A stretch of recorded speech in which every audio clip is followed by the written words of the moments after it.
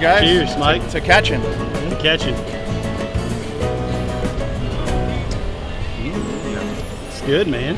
Hey guys, welcome back to another episode of G3 Sportsman. Today we are in beautiful Miami, Florida, and the sun is shining. And we were with Captain Mike of Urban Legends Fishing Charters. And you, why don't you tell us a little bit about what we have in store for us today? So today we're going to be targeting peacock bass. It's a good time. The peacock average two to three pounds, all the way up to around 10. I'm not gonna try to follow that up with anything. Let's just get on the water and have some fun. Thanks for watching, guys.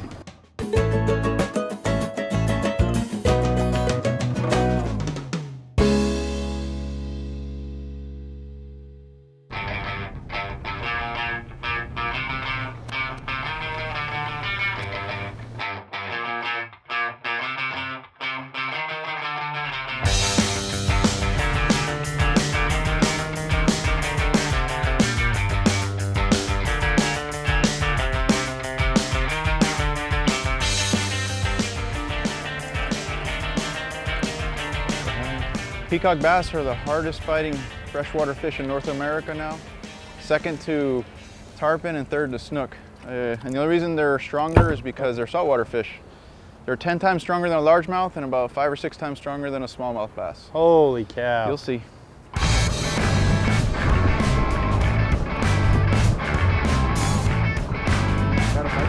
Yep, come up quick and clean. Here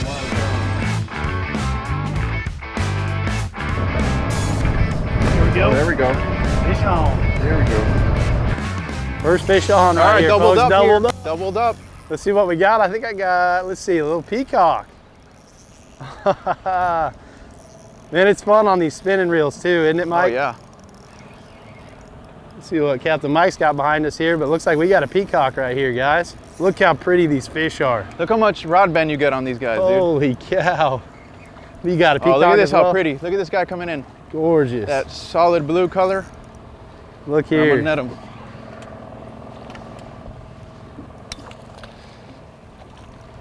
All right, can you lip them? Yeah. they're All right, just like a bass. Yep. Oh my gosh. Oh, look at that. Look how cool. Look at the colors on these things. So I've obviously I've been seeing these humps on these fish on their heads. Is that a male or? Yeah, the males have the humps and the females have a smooth head. Okay, And especially now during the spawning season, they um, the hump gets bigger. okay. So they're showing off. Yep. There's a female, as you can see, smooth head, Yep. and that one's a little. We call these uh, bully males. Awesome, guys. Boy, those Gorilla Grip gloves help. They got, yeah, they got some teeth, don't they? So that you obviously, everybody always sees the this tail, right? Yeah. For predators, keep them off the That's a false eye, false eye. And uh, where they come from, there's a lot of uh, superior fish that can eat them, so it gives them a better chance of survival. For sure. So they were introduced by a gentleman by the name of Conrad Hilton. That you might see his house right there. He introduced them in 1982. Uh, the idea was to control the carp population, but the real reason was to bring sport fishing to the area of Miami, especially in them days was the cocaine cowboy days. Miami wasn't the safest place.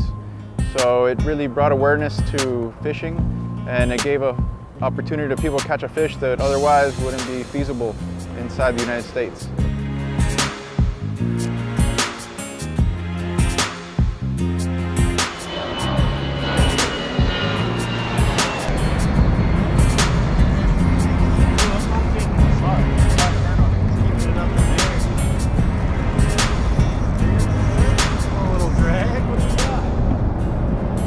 What's your guess, Mike? That's a peacock. You can tell by the way they, they fight. Listen to that drag ripping. I mean, he is rallying me. I gotta tie my drag a little bit here. Oh yeah. Look at the fight these things got in them. He's trying to get me back in those pads, Mike, so I'm gonna put the Go ahead, tighten put it the up a little button down on him a little bit. Ooh, Holy moly. Oh, I wasn't joking when I said they were strong. They say don't reel against the drag, but dang, you gotta. you gotta pull, keep that rod tip up. Yeah, They like to take you in the structure. So. Oh yeah, yeah, yep. Get in here, buddy. Oh yeah. There we go. Yes. There we go. Good job, bud. Yes. Guys, what I we came out this, here to do, dude. I pitched this thing back in a little shallow, shiny area. It was maybe a foot deep, wouldn't you say, Captain Mike? Yeah, and he just And I it. just kept my rod tip up and I reeled slow, and you could just see him come up and just boil on it. So, you know, that's what's just kind of like bass fishing. Like we were, that thing's hooked right at the top of the mouth perfectly. Look at that. Right how exactly how you want to hook them. Look at that. It's a male with that bump on his head. But yeah, so you know, fishing, you see little differences in these lily pads, and in that particular spot, that was just kind of a variation in that lily pad. And he'll have to tell you, I don't know if, you know, if they're sitting in spots like that more often, but how big is that fish? That's probably about 22, 23 inches and about six, seven pounds. He, he won't let go of my finger. There he goes, guys, nice and healthy, back into the water. There he goes. Healthy. Guys, always make sure, and whatever fish you're catching, I mean, I know we're getting photos and videos, but we're taking the time to dip them back in the water, try to handle them as little as possible, and get these big fish back in the waters. That way somebody else can catch them again. That's what I'm talking about. Heck yeah, dude, that thing was hammering. Horsing them out of there. You got to get them off this tree because they'll Yep. take you in. Yep.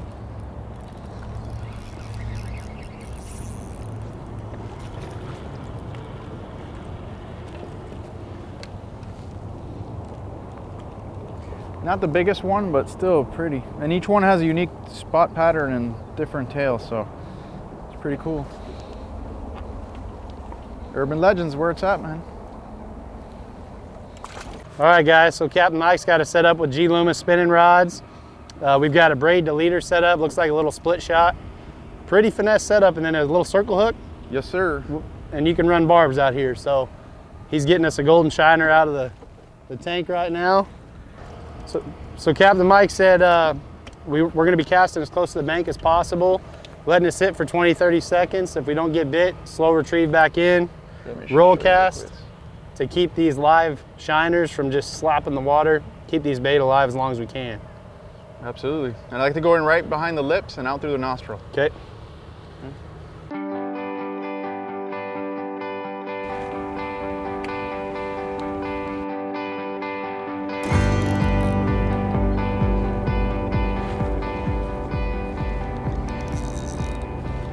So I, I feel like it's a bigger P only because it hasn't jumped yet. If it was a tarpon or a snook, it would have been airborne in the first 15 seconds. Turn that GoPro. maybe. But whatever it is, definitely a good size one.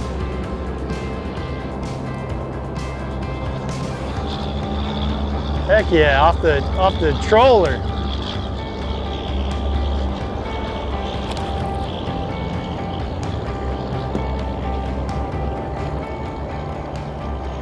We go, a nice female. You can tell by the smooth head. See no stripes on this one, Uh-huh. subspecies. Yep. Uh, speckled tail, not too much orange on her bottom fin either. This one maxes out around three, four pounds. Some of them get to about 10, 15 pounds, depends on the subspecies. All right, we're gonna get a safe release, all right guys?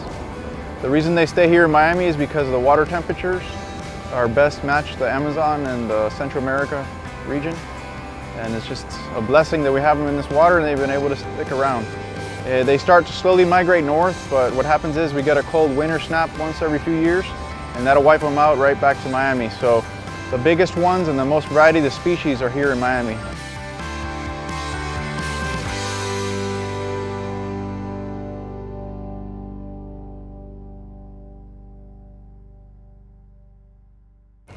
All right. It's coming in hot.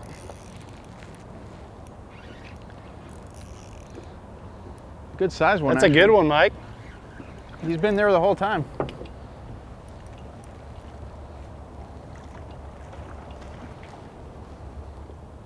Fish again. About like the one he's got.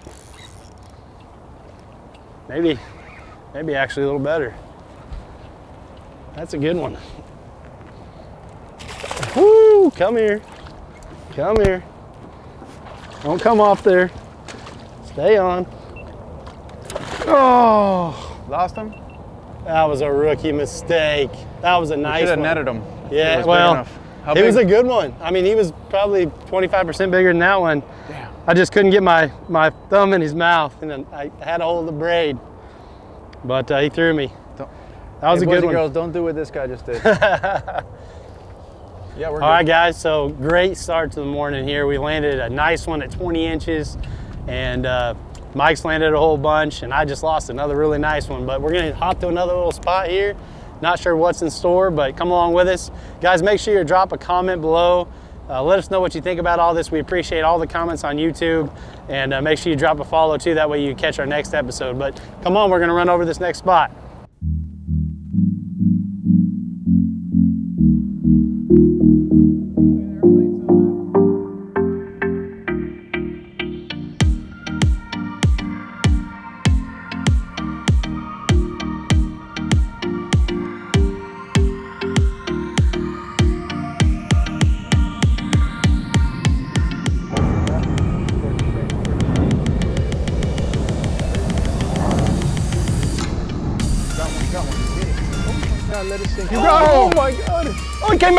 It. got him. that was a nice one, dude. oh man, that's the coolest bite of the day right there so far. He missed it three times or twice, and I just let it sit and he come back and got it. I'm just letting him play here, There's still a few more there to be had. letting him wear himself out a little bit here. On this spinning, this spinning stuff, guys, you you can't just horse them in, but All yes, right. sir, yes, Sweet. sir. This is a, definitely a hybrid. We could tell by the spot pattern. Good eyes, Mike. I didn't even see him till he bit. You had him twice. So Captain Mike, he came cruising through here about however fast. Look at this right here. Oh yeah. Didn't even pop. He was just barely hooked. And uh, he spotted him cruising through, and then he just told me where to pitch. I didn't even see him swimming until he bit it. Missed it, hit it again, missed it, hit it again, caught him. Look at that. It's almost like inverted stripes. Just gorgeous fish, guys, and what a fun fight. Absolutely. Come on out here, guys. You got to come down here and see Mike. What a unique, unique We're gonna throw this one back and we're gonna get us a bigger one because there was a few on that area. what a unique experience this is, guys. I mean, there's nothing I've ever seen like it.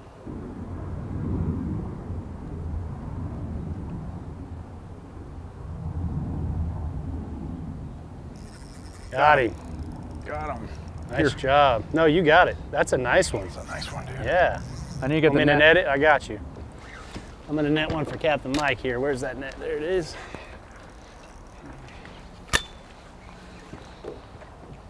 That's a good one. Pretty fish. Real golden colored. Nope. Not ready yet. Yes, sir. All right. Is a Nice male. one. Nice, male. one. You basically sight fish that fish. Yep. You can do that down here.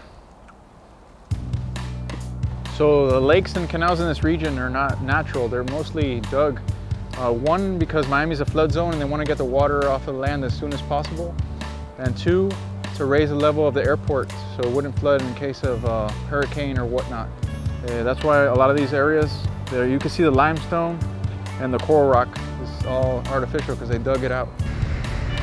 Oh, oh man, oh, Cool bite.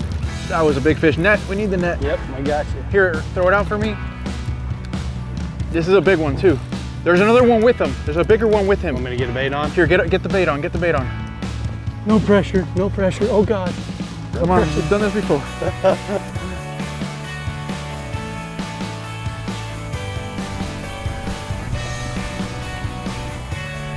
Cast it underneath that tree again.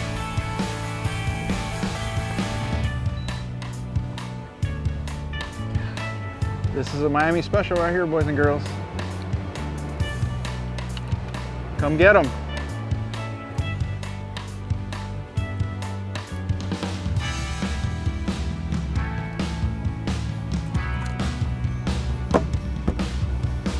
Yep. The trick is to let it sit. Okay. Stay out of there. Boy, they're fast, man. He just They're about took me in that. They're tanks, that dude. tree in no time. I mean, one tail kick, and he was almost in that tree. These things are just hammers. Good night. Get out of there. Get out of there. I mean, I just had to hold my spool to give myself a second to keep him out of that tree. Come to my right. That's a nice one, guys. That's a nice one, Mike. Another nice one, dude. Yeah. Come on, buddy. Get in here, big guy. Get in here, big guy. Yes, right. sir. Yes, sir. Sweet. I'll take that from you so you can get the motor. Guys, look at the color underneath this fish's gills right here. That almost doesn't even look real. It looks painted on. I'm gonna tell you something too, guys. It's like Captain Mike said, these things got a mean head shake. So if you guys are lipping these fish, it's like he said, it's not about being a man. It's about, you know, using those fish grips. Because if you're gonna grab one, make sure you're not dropping it and letting them bang their head on the, on the boat. Exactly. It's about the preserving the fish for future. Yep, because what a fishery they got here. So we're gonna get him unhooked. I'm gonna get this rod off my shoulder. We're gonna let him go. Mike, how long you been guiding? Since 2014, Since 2014. All out here? uh, yeah. Man, what a niche you got. I used to do a little bit of saltwater, but I switched it up to only this because Oh, it's just a better there time. we go, they smoked that one. That's- oh, there's a couple with it there. They're trying to steal it from me. There's like three or four in the water right there. Look at the colors on this fish here. Look at these things. Another female came out and just blasted. I mean, it wasn't in the water two seconds.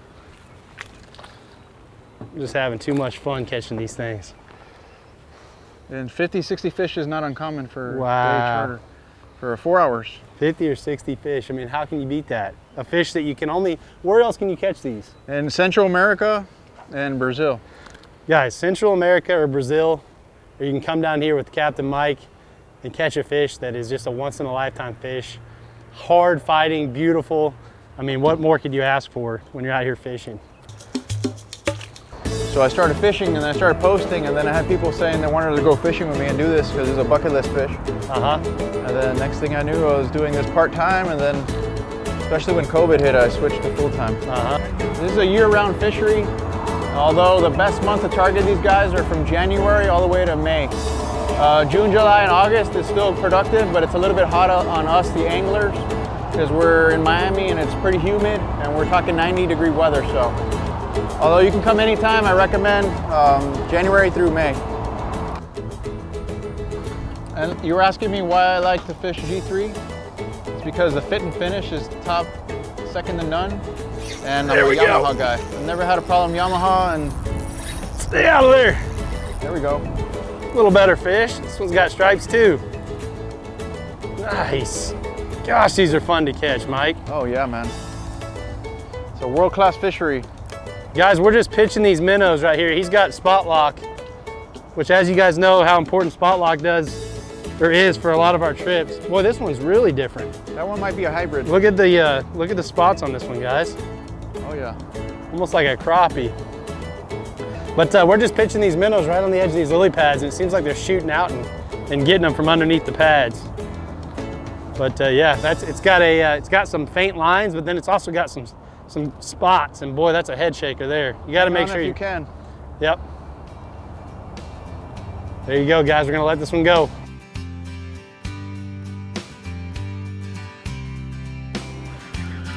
Guys, Mike had Give a me bed the net. fish. I Yep, net. we're gonna get a net from Mike here.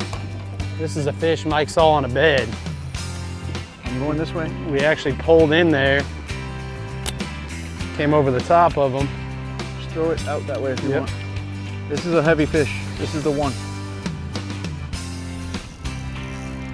Guys, we've been having a blast out here. We've had multiple big fish. at that Captain. Mike has been putting it on him. This is how we do it.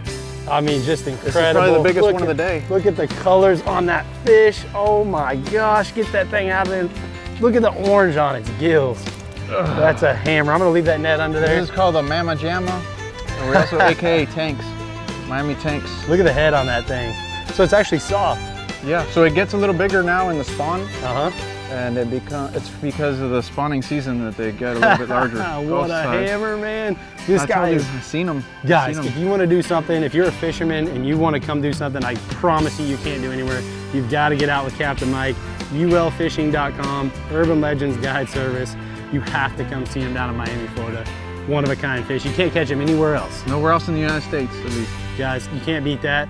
Thanks for watching. Come back next time for more. I don't know if we're going to top this in a while. Thanks a lot, Captain Mike. Absolutely. This has been incredible. Come get them, boys and girls.